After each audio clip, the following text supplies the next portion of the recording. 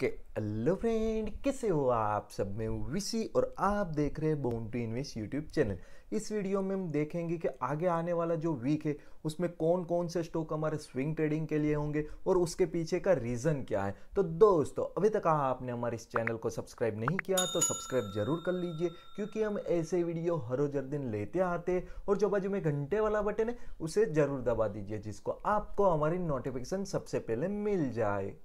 इस लिस्ट में जो हमारा पहला स्टॉक है वो है एलएनटी अभी एलएनटी को मैंने क्यों लिया? तो आप देख रहे हो, एक सडन सी अपसाइड मिली और बाद में आपको एक कंसोलिडेट जैसा जोन दिख रहा है। मतलब हम इसको ट्राइंगल भी बोल सकते हैं और फ्लैग भी बोल सकते हैं। तो ये वन आवर्स का चार्ट है। इसमें मेरे को फ्लैग जैसी पैटर्न बनती हुई दिख रही है। इसीलिए इसको मैं लेके जा रहा हूँ। अगर ये अपर की लाइन का प्रॉपर तरीके से अगर ये ब्रेकआउट करके अपर निकल जाता है, तब मैं इसमें अपनी बाइंग एंट्री बनाऊँगा। लेकिन आप भी अपनी एनालिसिस कीजिए और उसके ऊपर कोई डिसीज़न लीजिए। अभी इसके बाद का जो हमारा स्टॉक है, वो देख लेते इसके बाद का जो हमारा स्टॉक है, वो है यूनाइटेड स्पिरिट अभी इसको भी मैंने क्यों लिया? तो सेम एल एन टी जैसा ही कि आपको इसमें एक ट्रायंगल जैसा बनता हुआ दिख रहा है तो इसीलिए मैंने इसको चूज़ किया है। तो सिंपल सी बात है, अगर ये ट्रायंगल का प्रॉपर ब्रेकआउट करके अपर निकल जाता है, तभी हम इसमें एंटर होंगे। सो इसमें भी मेरा बुलिस व्यू ही है तो ओनली मैं बुलिस साइड ही इसमें देखूँगा। अगर ये इसको ब्रेक करके नीचे आ जाता है तो मैं इसमें एंट्री नहीं लूँगा।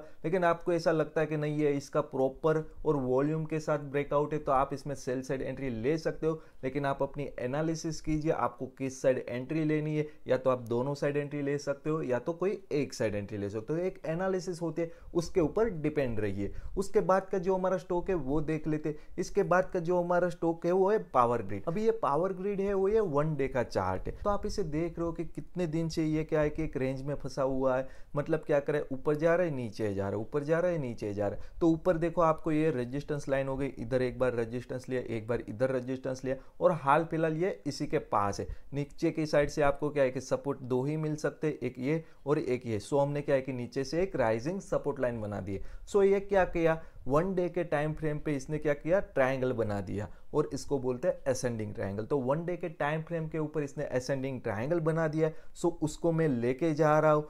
तो इसका अगर प्रॉपर तरीके से ब्रेकआउट हो जाता है अपर की साइड तब आप अपनी इसमें एंट्री बना सकते हो। सो सडनली अगर ब्रेकआउट हो जाता है तो सीधी एंट्री बना सकते हो। या तो वेट कीजिए, इसको थोड़ा अपर जाके नीचे पुल बैक आने दो और उसके बाद एंट्री ले सकते हो। तो आपको कोई एनालिसिस के ऊपर आपको प्लान बनाना पड़ता है। तो देखिए आपको कौन सा सही लग रहा है। आपको ऐसा लग रहा है कि नहीं, इसका प्रॉपर ब्रेकआउट हो गया तो क्या है कि आप एंट्री बना सकते हो। अगर आपको क्या है कि माइंड में थोड़ा ये है कि नहीं, ये प्रॉपर एंट्री नहीं है तो आप इसका पुल बैक का वेट कर सकते हो। और पुल बैक होने के बाद अगर ये प्रॉपर फिर से अपसेट देता है, तब आप इसमें अपनी एंट्री ले सकते हो।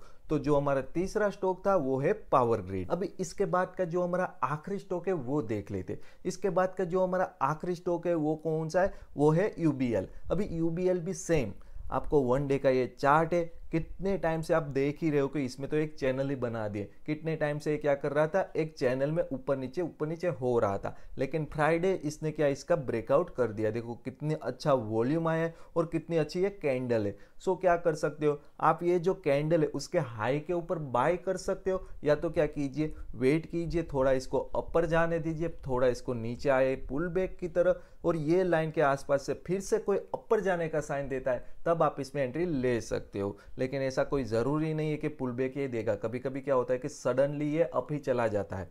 सो आप इसको देखिए, अगर आपको सही लगता है तो इस कैंडल के हाई के ऊपर अगर प्रॉपर ब्रेकआउट हो जाता है, तब एंट्री ले सकते हो। या तो क्या कीजिए पुल बैक का वेट कीजिए। जो भी करो, उस पर आपकी एनालिसिस होनी चाहिए। आपको पता होना चाहिए कहाँ मैं एंटर होने वाला हूँ। आपको पता होना चाहिए क्या मेरा स्टॉप लॉस होगा। और टारगेट तो आप क्या है कि उसको राइड भी कर सकते हो, या तो वन जेम टू लेके निकल भी सकते हो। तो इन सिंपल आपको पता होना चाहिए कहाँ आप एंटर हो रहे हो, कहाँ आपका स्टॉप लॉस है और कहाँ आपके टारगेट है। और मैं पहले ही बोल दे रहा हूँ, किसी को आप ब्लाइंडली फॉलो मत करो, मैं ऐसा बोल रहा हूँ कि यूबीएल यहाँ से बाय कर लो तो आप बाय कर लो, ऐसा नहीं होता।